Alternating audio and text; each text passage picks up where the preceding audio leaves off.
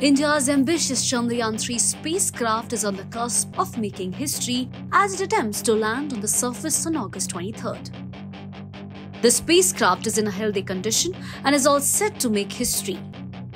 In the latest development, the Chandrayaan 2 orbiter hovering above the moon has officially established contact with the Chandrayaan 3 lander Vikram. ISRO now has one more avenue to reach out to the lander apart from the propulsion module. The Vikram lander has been looping around the moon since it separated from the propulsion module a week ago.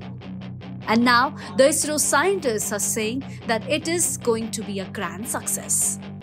With this, ISRO also informed that it successfully reduced the orbit of the Chandrayaan 3 mission's lander module on August 21st.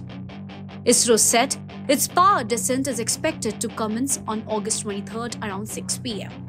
Moreover, Chandrayaan 3 captured the images using the lander hazard detection and avoidance camera ahead of its first historic landing.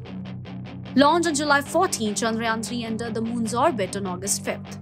The mission objectives of Chandrayaan 3 are to demonstrate a safe and soft landing on the lunar surface, to demonstrate rover roving on the moon, and to conduct scientific experiments.